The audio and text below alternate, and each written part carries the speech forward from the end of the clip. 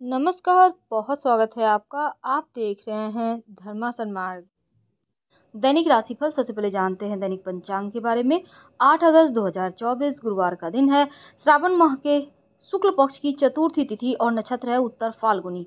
शिव नामक योग बंडा अभिजीत मुहूर्त है। सुबह ग्यारह उनसठ से दोपहर बारह तिरपन तक। राहु काल का समय दोपहर दो से दोपहर शाम तीन तीस तक। राहु काल के समय में कोई भी नहीं और शुभ कार्य ना करे विघ्न आ सकते हैं बात करते हैं आज के राशिफल की। तो सिंह राशि वालों, आज का दिन आपके लिए बढ़िया है। धन लाभ के योग बने हुए हैं। करियर में जिम्मेदारियाँ बढ़ती हुई दिखेंगी।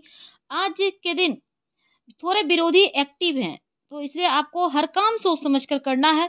जीवन साथी के साथ रिश्तों में सामंजस्य बना रहेगा। आज दिल की बजाय दिमाग से काम लीजिए। बाहर। नौकरी व्यवसाय के मामलों में।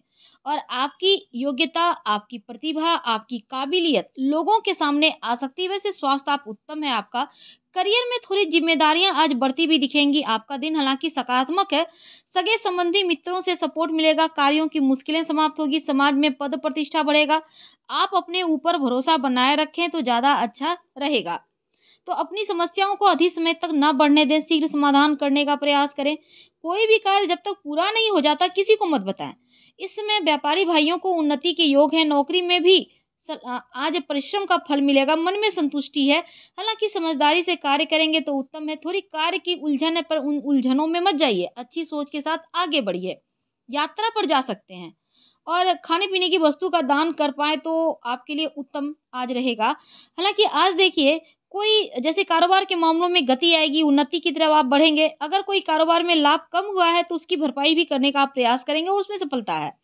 नौकरी करते हैं, आपके ऊपर काम का दबाव है, लेकिन रिलैक्स भी हैं, मनोरंजक पल बिताएँगे, यानी मनोरंजन की चीज़ों में समय व्यतीत करते नज़र आएँगे। शुभ रंग नारंगी, भाग्य साथ निभाएगा, बहत्तर प्रतिशत भाग्यांक एक है। तो आज धन लाभ के योग हैं, बिना कुछ खास किए ही लोगों का अपनी तरफ़ ध्यान आकर्षित कर पाएँगे।